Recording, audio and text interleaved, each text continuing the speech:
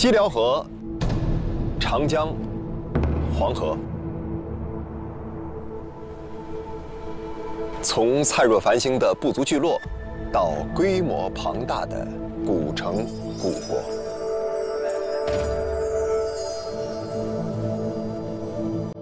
伴随中华文明的演进发展，小小的一块玉凝结着精神品格，逐步在中华大地不同区域、不同族群间。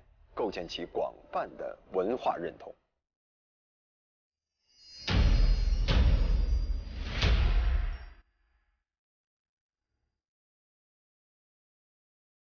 而当史书记载的夏朝开启，玉又会在此后的王朝更迭中扮演什么角色，呈现出怎样的面貌呢？让我们沿着时间长河的堤岸，继续探寻。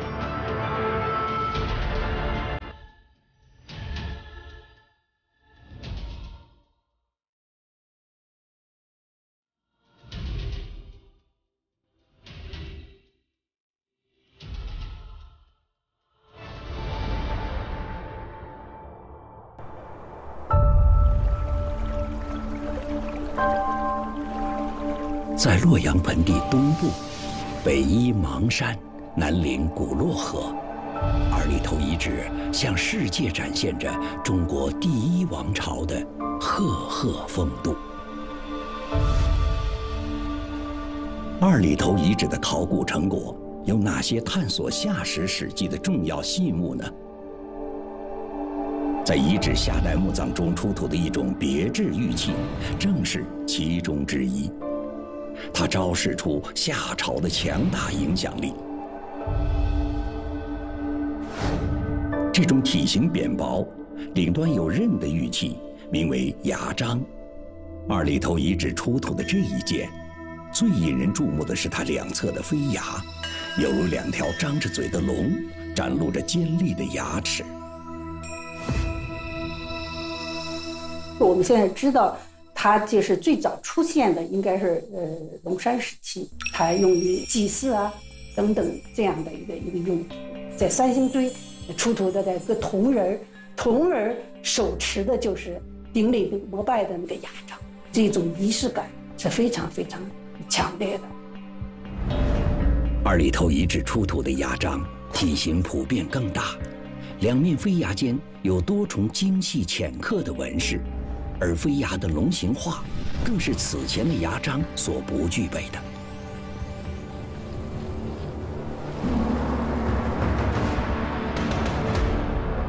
龙，这一中华民族最具传奇色彩的代表性图腾，在二里头遗址出土的绿松石龙形器、镶嵌绿松石铜牌饰以及诸多陶器上多次被发现。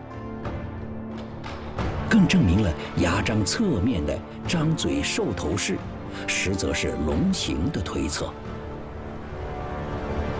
觉得他是为了加持这个一张武器的这种神秘的力量，体现的是权力的象征。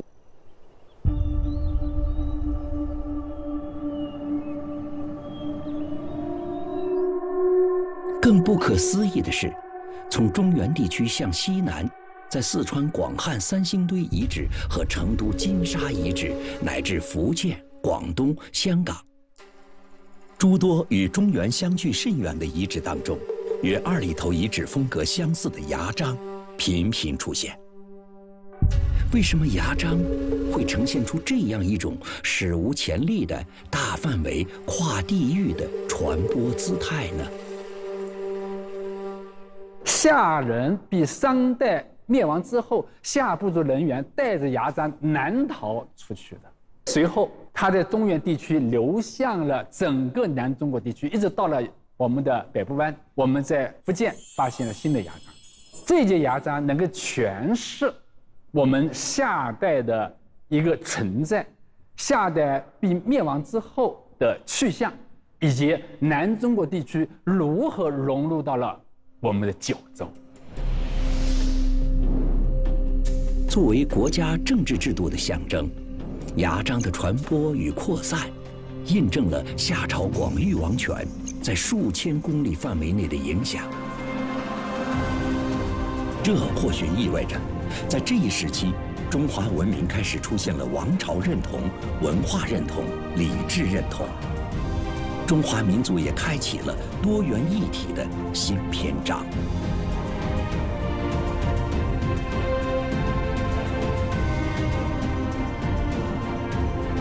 朝终会落幕，但是文明前行的脚步一旦开始，便不会因朝代更迭而终止。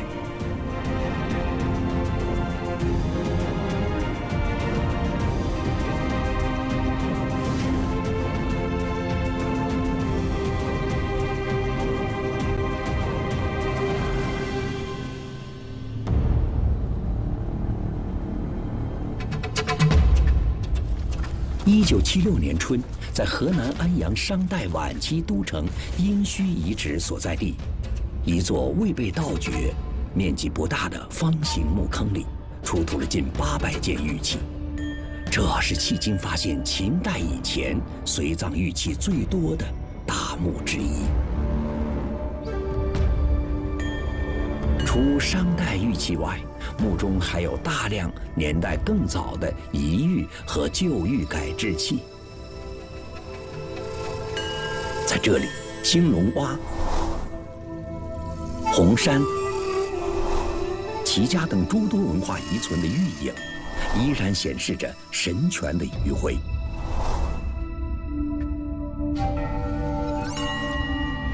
青铜器铭文和甲骨上的记载。为我们揭晓了这位古玉收藏家的身份。她是妇好商王武丁心爱的王后。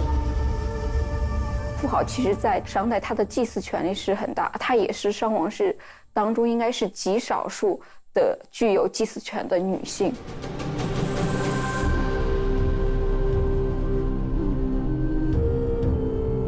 左传》中记载。国之大事，在祀与戎。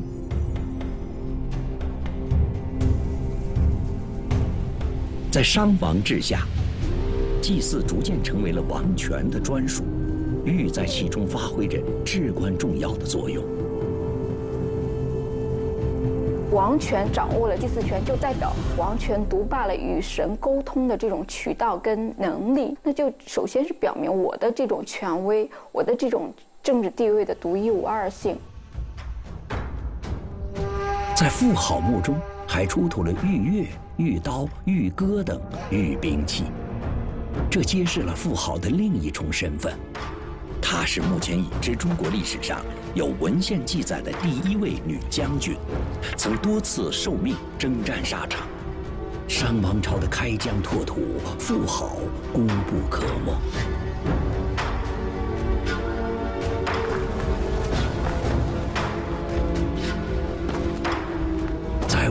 治的半个世纪里，商朝中心疆域在征战中不断扩大，成为西起甘肃、东到大海、北及大漠、南越长江的泱泱大国，史称武丁盛世。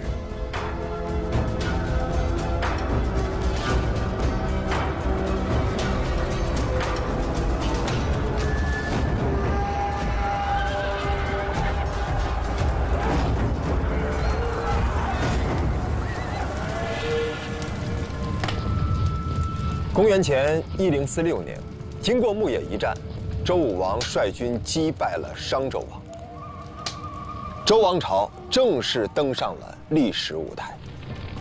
周公治理，经国家，定社稷，恤民人，立后嗣。发展于周朝的礼乐制度，对中国传统文化和社会发展产生了深远的影响。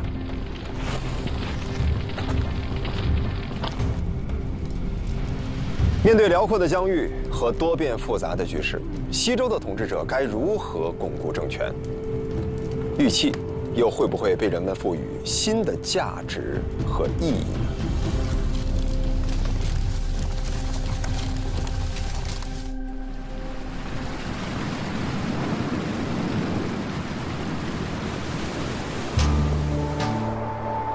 位于河南省三门峡市黄河岸边的虢国墓地。长眠着西周诸侯国中与周天子血缘十分亲近、战功显赫的一脉。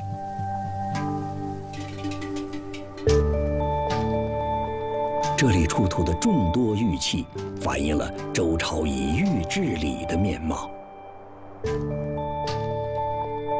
人龙纹玉章，出土于国君国仲的墓葬。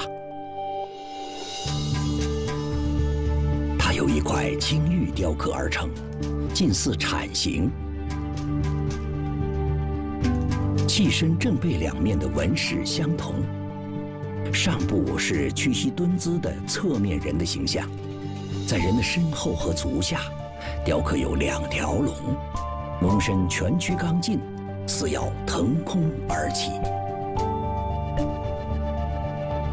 表现了周代的这个思想，就是敬德保民、敬天法祖，有一定地位的人，他能驾驭了这个具有神力的龙，祈求风调雨顺呀、江山永固呀这些美好的愿望。玉章是礼敬天地四方的六器之一。周礼记载，以玉作六器，以礼天地四方。以苍璧礼天，以黄丛礼地，以青龟礼东方，以赤章礼南方，以白虎礼西方，以玄黄礼北方。地从龟章虎黄，共同组成了周代玉礼器系统。玉和礼的关系得到空前发展。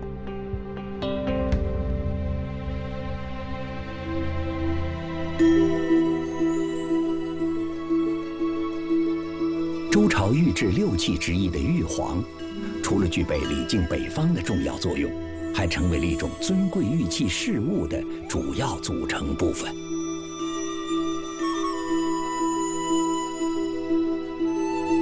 玉组佩。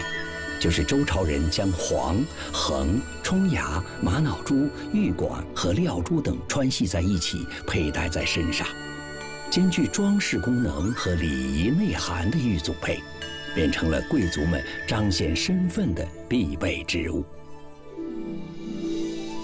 君臣尊卑，持素有节，玉组佩的配件越多，结构越复杂，代表着佩戴者的身份地位越高。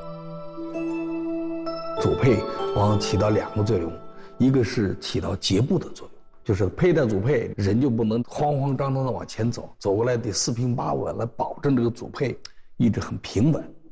另一种呢，就是在行进的过程中，组配上的玉石构件之间互相发生轻微的碰撞，会发出这种悦耳的声音，然后别人会知道，哎，这是一个君子过来。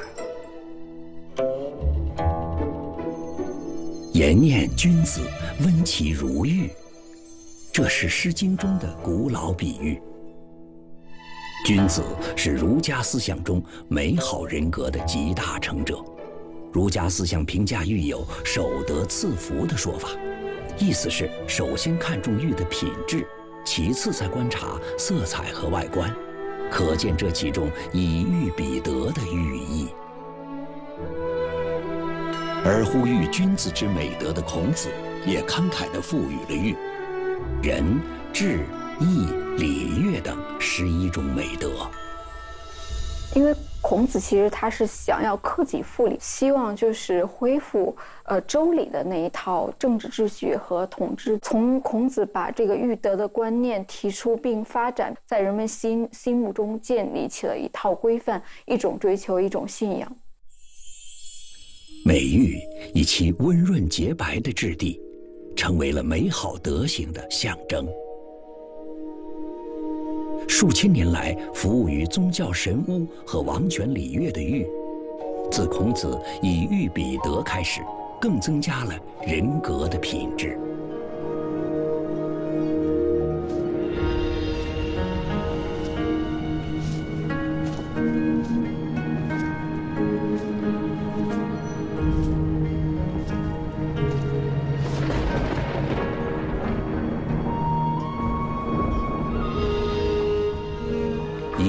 君子的孔子，终其一生高呼仁政思想，在征伐四起、礼崩乐坏的现实面前坚守不弃。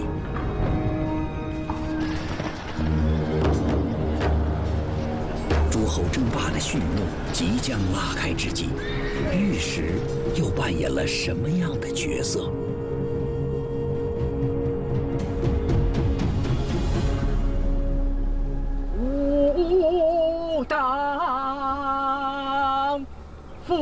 福建梆子爹。在金榜同时立忙。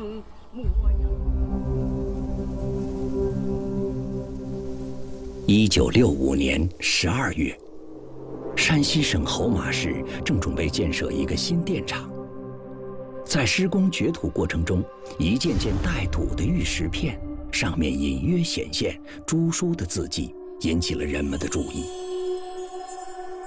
经过张翰等考古学者的鉴定，这批写有文字的玉石片是春秋末年晋国的官方文书。比如这块小小的蒙书片，只有鸡蛋大小，正反面却足足书写了九十个字。春秋末期的晋国世卿赵鞅，与晋国内部盘根错节的势力屡屡举行誓盟。他们将誓言写在玉石片上，共同约定：不纳誓，不背叛，内部团结，打击敌对势力，诅咒背信弃义的行为。在古人眼里，玉就是通神的，玉是有灵气的。那同时，我把这样的盟誓，我写在这个具有一定灵气的、一定神性的这个玉器上，这就具有一定的法律效力了。这代表了一种。契约关系，这种关系是神都知道的。那当然，你们要大家要遵守。数量以千计的蒙书玉石片，让我们看到，在那个争霸称雄的时代，玉石如何扮演了道德的载体，承载着严厉的盟誓，凝聚与约束着结盟之人。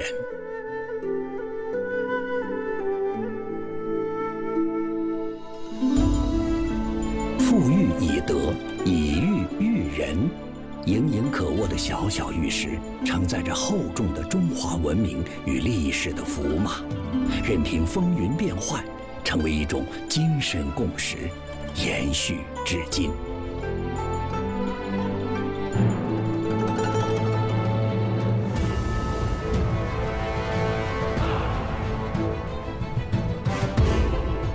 前二百二十一年。秦灭六国，结束了自春秋战国以来长达五百多年的诸侯割据纷争，在中国历史上首次实现了大一统。但短暂的秦朝来不及有更多作为，就将江山易主给另一个盛世。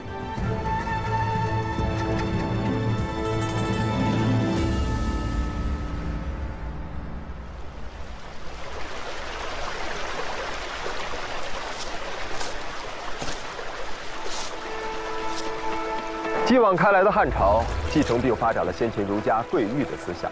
玉不仅被当作身份、财富、品德的象征，更被视为天地之精。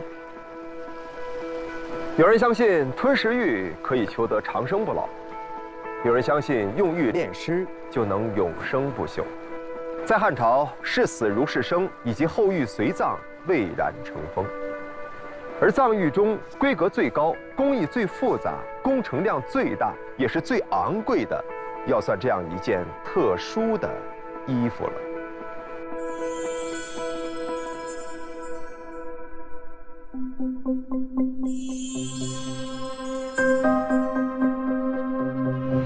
这件金缕玉衣，有四千多个玉衣片和一千多克金丝穿缀而成。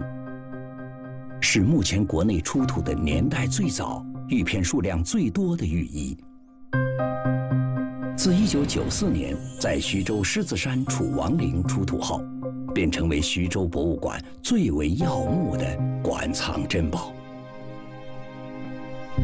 据专家考证，这件金缕玉衣的主人正是汉代第三代楚王刘戊。这个狮子山的楚王墓，它这个玉衣一共是四千八百二十八片，然后都是非常纯净的白玉，或者就是说青白玉，年代早，工艺好，玉料好，非常高规格的一件。视死如生，视亡如存。汉代的玉衣和玉枕、玉手握、玉九窍塞、玉璧，组成了一套完备的玉炼藏组合。一件件夺目的华服，不仅彰显着主人特殊的身份，也承载着人们对永生不朽的向往。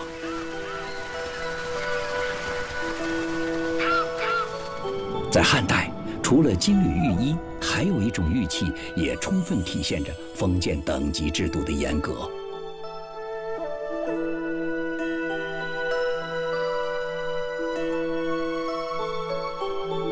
博物馆的专家鉴定证。国宝。对。这东西是我小时候在水渠里边捡到的。哎，我得跟您合个影。一九六八年，十四岁的孔忠良从水渠边捡到了这枚玉印，从此他便与国宝结下了不解之缘。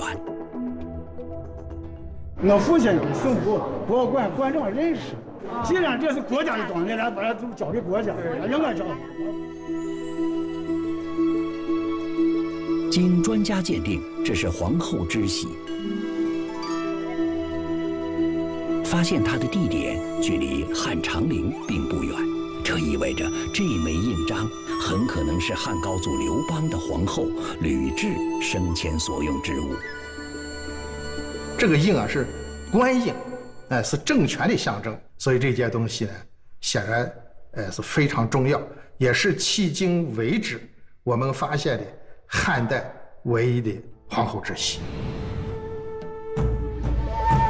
汉代著作《独断》中记载，秦以来，天子独以印称玺，又独以玉，群臣莫敢用也。汉代规定了一套严格的用印制度，只有位于王权之巅的帝后，才能用这种洁白无瑕、晶莹润泽的羊脂白玉雕凿玉玺。这种珍稀的玉料产自遥远的新疆和田。在中国传说故事中，西周天子周穆王驾驶着八匹骏马牵引的车驾，向着遥远的西方巡游，与西王母相会于昆仑山。临别时，西王母送给周穆王满满八车的玉石。这段故事被记录在了《穆天子传》中。成为最早记录中原与西域之间交流的史料。而随着对商代妇好墓出土玉器研究的深入，也有观点认为，和田玉或许早在周代之前就已经进入了中原。西域有珍奇美玉，令古代中原人心驰神往。直到汉武帝时期，张骞凿空西域，和田玉终于开始大量进入中原。张骞通西域以后，和田玉可以说是源源不断的进入到中原地区，他们就逐渐的意识到新疆和田地区所产的这个和田玉品质最好，尤其是皇家、诸侯王这些高等级的贵族就会用最优质的和田玉。两汉时期，和田玉逐渐成为皇家用玉的主流。到隋唐时期，和田玉已经凭借优异的玉质，成为承载中华玉文化的主要玉料来源。西域东输，也让玉文化在人文交流中得到进一步的融合与演进。后世的人们基于长久以来的用玉体会，不断总结玉料的特点，将辽宁鞍山的岫岩玉、新疆和田的和田玉、陕西西安的蓝田玉、河南南阳的独山玉合称为中国四大名玉。玉成中华，蔚为大观。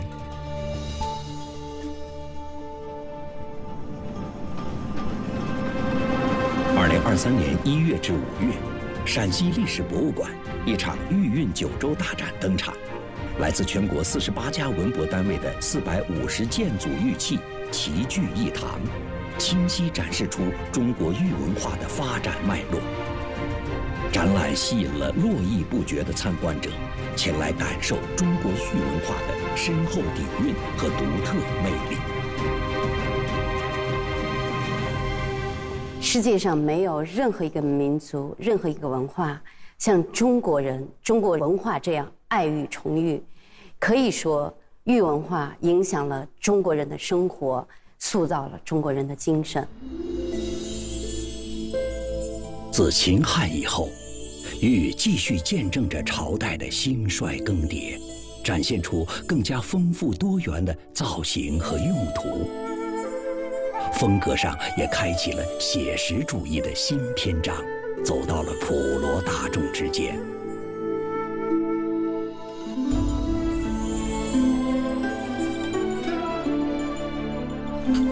直到今天，中国人着玉、崇玉、爱玉的情感依然浓烈，并和古人一样，会把家国情怀甚至世界大同的理念融入玉中。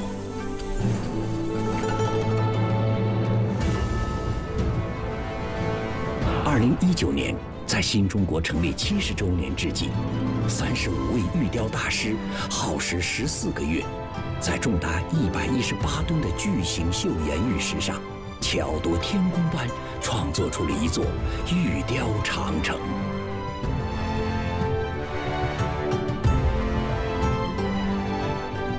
枫树压柏苍劲，城墙关隘险峻，气势磅礴、雄浑壮阔的玉雕长城，从玉石胚中脱胎而出。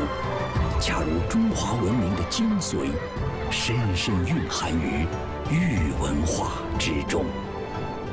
零八年的那个奥运的金银铜牌，你会发现，它整体的形状是一个币的形状，从个样式来讲是跟汉的出阔币给弄过来的。玉对于中国人来说是有特殊的意义的，它是一个呃精神的一个载体。别的这个国家和别的文文化当中是没有的，说这个是中国独一份的。北京二零二二年冬季奥运会的铜芯奖牌，创意来源之一同样是出自中国古代玉璧。中国人上河和求大同的美好心愿，再次以玉为内涵，传遍世界。一直到现在。我们中国人就讲天人合一，为什么中国人用玉的观念一直传下来了？我有个观念，这个文明在于传承。中国的文明是连绵不断的，五千年文明没断过。我们这个没断过的那个文明，那个东西那是最重要的。那对了，这个玉就是一个。